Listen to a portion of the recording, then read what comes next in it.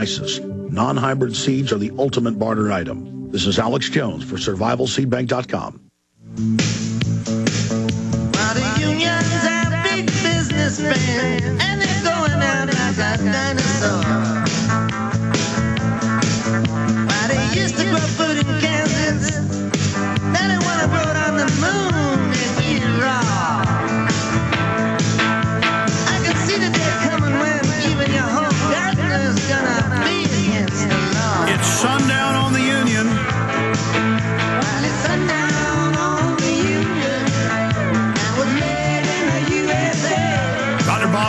is coming up inside the Secret of Star Wars program. Much as he can tell us legally and lawfully, we'll talk about about a host of other issues with him as well. Got an Oklahoma City bombing survivor who's saying it's an inside job, joining us in the last 30 minutes of the transmission.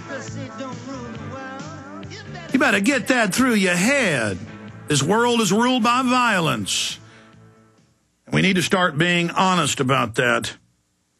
I wanted to say one other thing about this. I, mean, I guess I was arrested for asking Bush a question in a press conference, but this has now happened to Aaron. It's happening to more and more people, and that's why they've hired provocateurs to dress up as anarchists since Seattle in 99 to attack police and others, and it's come out in every case it was staged to then scare other Americans from going out and demonstrating because you're met by police in riot gear beating their shields and firing tear gas, pepper spray, and rubber bullets at you famous video in Miami of peaceful people with signs being shot with rubber bullets and going through the sign and bloodying their face.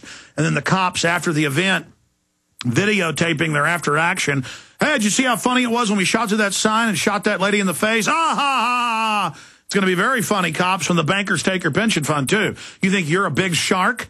You think you're the big fish on the block? You think your bosses care about you? When they're done with you, they'll flush you down the toilet, just like they're flushing this republic down the toilet. But I want to thank everyone that called the jail. Uh, when we got down there to the jail last night, they said it'll be 24 hours until he even sees a judge. This is like at 10 o'clock at night. And then they got a bunch of phone calls down there, and they did tell Aaron they got phone calls. So the We Are Change fellow and Aaron uh, were released. They were released. And so that's good news. One other tidbit here. We are premiering Police State 4, The Rise of FEMA tomorrow at 3 p.m. Central when the radio show ends at prisonplanet.tv. And the DVDs are shipping today. They were shipping yesterday. Most of you will get them today, tomorrow, or the next day who ordered them, the high-quality DVD with the expanded extras. I want to thank all of you that are supporting us, but more importantly, have viewing parties, show it to your friends and family. And also help us get this new concentration camps in America. Alex Jones calls on all patriots to expose growing evil. A very important 8-minute, 56-second video with a sneak peek in the middle from the film, just a minute and a half of the film to give you an idea of what's in the documentary. This is up on Infowars.com and PrisonPlanet.com and on the Alex Jones YouTube channel. Please make this go viral. We want to push this onto the front page of YouTube so it gets a half million hits or close to it. Uh, like our little uh, iPad video we did last week, well on its way to a half million. Right up there, getting close to 300,000 uh, right now. So please get this concentration camps in America. Alex Jones calls on all patriots to expose growing evil. Please post this on your website, your blog, your Facebook. Please get this out to everyone you know. ASAP. And let's make sure it's on all our Facebooks. And let's Twitter this baby out. Uh, we can do that also on our system because this is the best of the trailers and sneak peeks we put out. Eight minutes, 56 seconds up on Infowars.com right now. Please order the DVD with the expanded extras and the highest quality. Please make copies. Please air it on Access TV. Please get it out. You can also call toll free 888-253-3139, 888-253-3139. Or you can write to me, Alex Jones, at P.O. Box 19549, Austin, Texas 78760. All right, we're reaching the halfway point in the radio broadcast. Dr. Bob Bowman joins us coming up, and then an Oklahoma City bombing survivor who says it was an inside job and saw McVeigh and the government inside wiring the building. We'll be right back.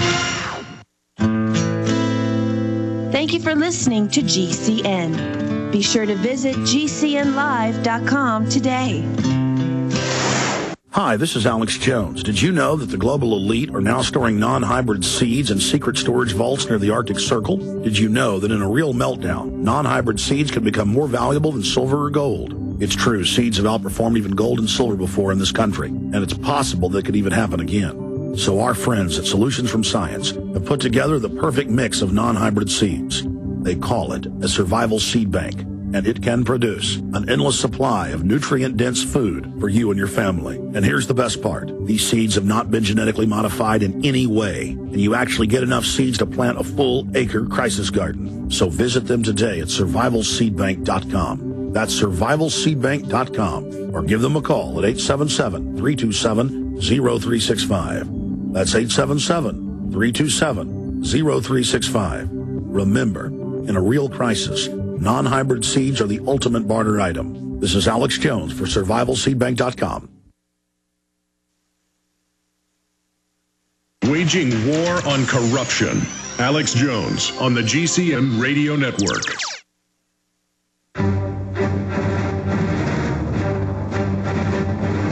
Big Brother, mainstream media, government cover ups. You want answers? Well, so does he. He's Alex Jones on the GCN Radio Network. And now, live from Austin, Texas, Alex Jones. Okay, Dr. Bob Bowman thought he would be to his home by now, but he's not. He's on the road in his RV, driving his RV across the country. We've interviewed Willie Nelson from his bus before going down the roads. so we'll see how this goes. But he's going to be to a parking spot in about 20 minutes. So we're honored to have him. Uh, Robert Bowman is a former director of the Advanced Space Program Development for the U.S. Air Force and the Ford and Carter administrations, and a former U.S. Air Force lieutenant colonel with 101 combat missions over Vietnam. He holds a Ph.D. in uh, aeronautics and nuclear engineering. And uh, despite his involvement in the space program and defense, he emerged as an early public critic of the Strategic Defense Initiative, SDI, aka Star Wars, during the Reagan administration, is also a critic of George W. Bush's administration's national missile system. And uh, he's a 9-11 uh, researcher, truther. Uh, he's a great man, and we're honored to have him on with us. We're going to talk first, before he gets parked, about the latest 9-11 truth, about uh, the talk of Iran supposedly having a nuke, and they're going to nuke us. The government now saying Homeland Security's number one threat is the American people. I mean, we knew this was really being set up in the shadows, but now it's out in the open. The, the draconian Orwellian system we're sliding into. Uh, we're going to discuss this first with Dr. Bob Bowman. Then we're going to get into Star Wars, how advanced it was, what he can talk about that's, that's been declassified or, or leaked that he's allowed to discuss, versus what he projects they've got today. Dr. Bob Bowman, good to have you here with us. Thanks, Alex. Good to be back. There is so much going on, so much happening. But before we go to break, what do you think of uh, 15 months into Barack Obama's administration? What do you think of him? Well, of course, like so many, I'm uh, very disappointed, uh, particularly with uh, uh, the expansion of the war in Afghanistan and extending it into uh, Pakistan and even talking now, uh, he isn't, but, you know, others talking about the possibility of going into Iran and the new justifications of that based on uh, this uh, supposed Pentagon uh, determination that, gee whiz, they might have not only nuclear weapons but intercontinental ballistic missiles uh, by 2015 if they get enough foreign help. I think that's a bunch of baloney myself. Uh, ballistic missiles are an extremely advanced, high technology uh, project, and uh, there are very few countries in the world that can pull that off. And some of them have been trying for decades, like North Korea, uh, without success. Um, I think this is just uh, another justification doing for what uh, a minority in the Pentagon want to do, uh, and uh, whether they're doing it because uh, the Israelis want to do it or they're doing it for some other dumb reason, I don't know.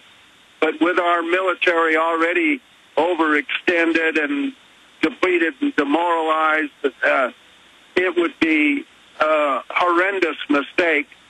Iran is much stronger militarily, a much larger country uh, than Iraq, and I mean, it, it, would be, I think, the end of the United States as we know as we know it. Well, sir, I heard Fox News last night on the radio saying Iran now has intercontinental ballistic long-range missiles, and we've got to go in.